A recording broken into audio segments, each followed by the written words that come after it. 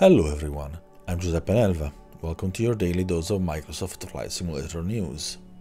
We're in the middle of the holidays, so things are a bit slower, but today we have a good mix of news about aircraft and scenery. We start with Top Mach Studio that announced a brand new aircraft in the works, the B-2 Spirit Bomber. It certainly makes a good pair with the studio's successful F-22 Raptor. The aircraft should come to both PC and Xbox, but it's very early in development, as you can see from the work in progress image of the 3D model.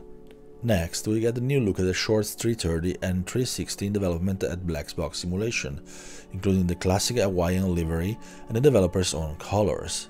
Fly 2 High released new airport and it's Cheongju International Airport in South Korea. It's the sixth busiest airport in the country and it's also used by the military. You can purchase it on Sim Market for approximately 13 US dollars plus tax. Next, we get a clarification from Aerosoft about the upcoming E-Jets by Flight Sim Studio. We hear from Aerosoft own project manager that the aircraft aren't considered an Aerosoft product, since the company isn't involved in development or even publishing, so they won't handle support besides sales on their own stores.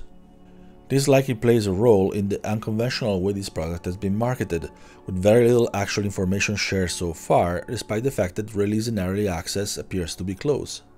And that's it for today. Another short and sweet holiday episode. As usual, if you enjoyed the video, please like and subscribe.